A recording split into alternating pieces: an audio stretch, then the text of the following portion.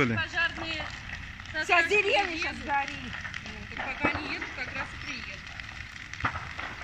Сейчас приедут, еще воды нет. Да, как обычно будут искать, где колодец. Пиздец.